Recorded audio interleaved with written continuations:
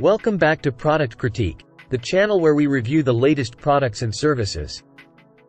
Today, we have the Hisense A9H, a flagship OLED TV that aims to compete in the premium market. Let's see if it can hold its ground against the big boys. The Hisense A9H offers a vibrant and dynamic image, along with an integrated sound system that delivers a powerful audio experience. While it has some heavy-handed picture processing and a few issues with picture and audio quality, the A9H can be a lot of fun when it's firing on all cylinders. Hisense has made its mark in the value-added market, but with the A9H, they're stepping up their game in the premium segment. Packed with features like a native 120Hz panel, Dolby Vision IQ, and support for Dolby Atmos and DTS:X, the A9H is certainly ambitious. Design-wise, the Hisense A9H takes some inspiration from Sony's OLEDs. The rear area is a large black slab that houses the connections and processors, extending the depth of the screen to 49mm. The TV itself is wafer thin, and the bottom features an integrated soundbar called the Sonic Screen. The sturdy stand supports the TV's weight, and assembly is straightforward but time-consuming. The stand doesn't obstruct the placement of a soundbar, which is an improvement over previous Hisense models. Cables can be neatly organized through a gap at the top of the stand, keeping the rear area clutter-free. The A9H runs on Hisense's VIDAA U interface, which offers a user-friendly experience. The home screen features a row of icons for settings, inputs, voice assistants, and more. The app row has been condensed to a single scrolling row, saving screen space. Popular apps like Netflix, Disney+, Prime Video, and YouTube are all available, along with options for music streaming services. The remote is functional and lightweight, with quick access buttons dominating the top half. It also offers control via the VIDAA app, eliminating the need for an account.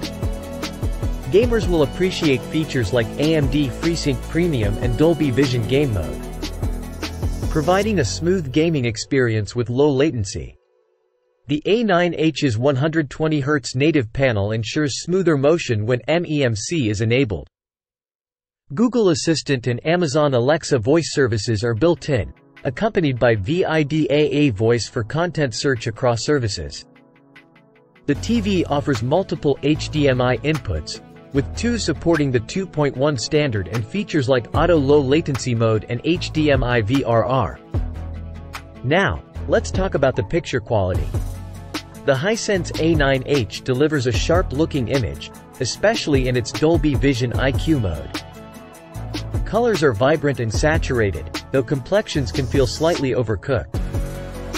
The peak brightness reaches impressive levels, enhancing highlights and providing excellent contrast. However, there are some issues with processing, occasional banding and contouring, and inconsistent dark detail. The image may not be as natural as LG, Panasonic, or Sony OLEDs. But it certainly grabs attention with its punchy and saturated nature.